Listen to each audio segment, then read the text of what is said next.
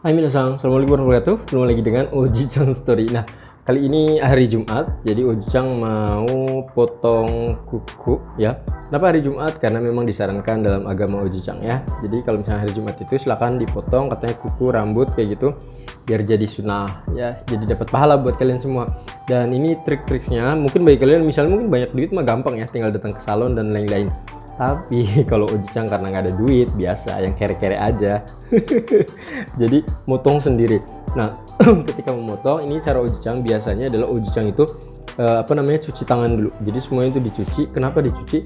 Kalau dicuci liatin di sini liatin dicuci kuku akan lebih apa ya lebih mudah. Dalam artian ketika dipotong tuh akan lebih gampang. Karena ketika kita misalnya kukunya kering kayak gitu ketika dipotong itu menurut Ojicang nggak bagus hasilnya. Ya jadi ini entah itu ininya kasar dan lain-lain ya. Lihatin udah cukup panjang ya. Yang ujang mau potong. Ya seperti ini. Nah biasa ujang akan dibasin dulu. Jadi kebetulan ini basah ya. Tadi udah basah. Makanya ujang akan potong. Nah untuk kuku sendiri untuk kuku ojicang menurut ojicang sih kukunya lumayan lah ya. Kebetulan ojicang kayaknya si kukunya niru sama ibu ya ini apa namanya kukunya panjang-panjang seperti itu. Bentuknya karena kalau yang katanya sih ya kalau yang kayak keturunan ayah itu biasanya uh, kukunya tuh pendek-pendek. Ini aja nggak ngapa-ngapain ya. Jadi segini. Hmm, nggak hmm, tahu bener enggaknya tapi ada beberapa orang dikiranya tangan Ojang katanya kamu ke mani pedi padahal enggak. Ini cuma berminyak doang ya berminyak habis makan gorengan. Nah kita akan potong. Nah untuk potong sendiri kalau ojicang sih biasanya ya kalau untuk yang kaki itu biasa aja sih. Nggak ada yang istimewa kalau menurut ojicang dipotong biasa. Nah liatin enaknya kalau udah basah itu. Ketika dipotong enak aja. Seberapa rapi kalau ojicang sih biasa aja. Nggak sampai yang rapi atau gimana. Yang penting ketika dirasa kukunya udah pendek ya udah gitu nah untuk kuku-kuku yang ini masih biasa sih ya motong biasa.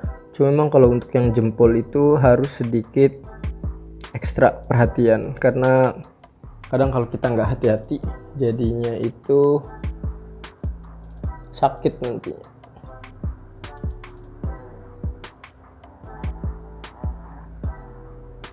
nah, ini juga salah satu uh, saran ujang kenapa lebih baik apa namanya habis dibasahin itu karena nanti si kukunya itu nggak begitu banyak loncat-loncat. Loncat sih tetap tapi nggak kayak yang kering banget. Kalau lembab kayak gitu lebih enak.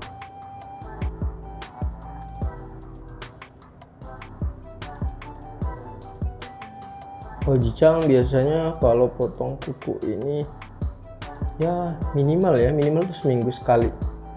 Nah liatin untuk yang ini kalau yang ujicang kan biasanya ini ada orang-orang yang terkena cantengan kayak gitu. Bisa jadi ketika dia motong kukunya kurang pas kali ya nggak sesuai. Nah ujang dulu juga sama cantengan juga jangan salah ya. Cuma kalau sekarang motongnya tuh lebih baik kayak gini doang ya.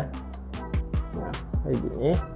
Untuk yang bagian sininya kadang ujang nggak dipotong banget. Karena kalau dipotong terkadang sakit. Nah ini harus dicek dulu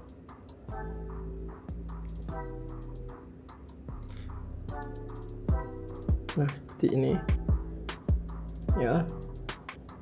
Jadi ujung akan dicoba diginiin di apa namanya ditekan. Ya ditekan. Kalau misalnya sakit berarti harus diperbaiki. Tapi kalau misalnya enggak sakit berarti enggak masalah. Ini agak sakit di bagian sininya. Ternyata susah juga ya. Enaknya pakai kaki ini sih pakai apa? Pakai tangan dua ya. Cuma karena Ujang pakai kamera jadi agak susah kita cek yang sebagian sininya.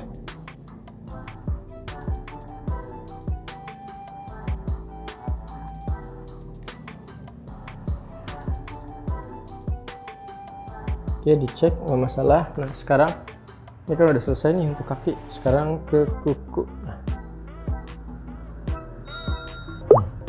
cek kuku. Aku kelihatan nggak ya? Bentar Ojang akan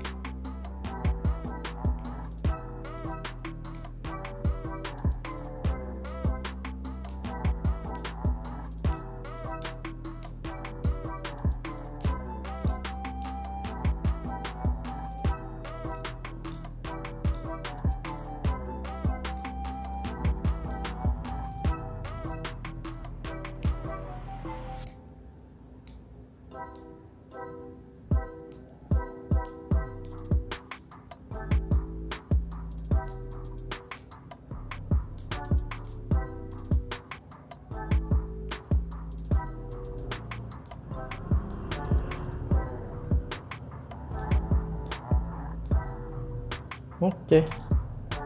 Nah, lihatin tangannya udah nih. Ini kok nggak rapi? Ya ujang sih yang penting kepotong kayak gini aja ya. Ini juga udah cukup ya. Dan kita lihat bekas-bekasnya. Oh itu berantakan. Ya paling itu aja uh, apa tips tips dan juga trik dari Dojang ketika memotong kuku tangan ataupun kaki. Semoga informasi ini bermanfaat ya. Assalamualaikum